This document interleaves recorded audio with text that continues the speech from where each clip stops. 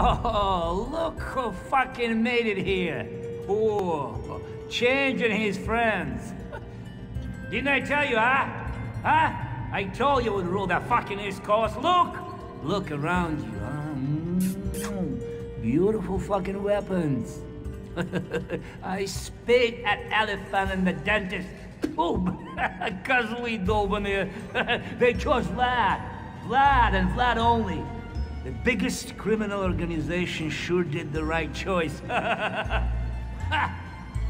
you are very lucky. I always like you crazy bastards. and, and your weird masks. I believe you are the right people for me.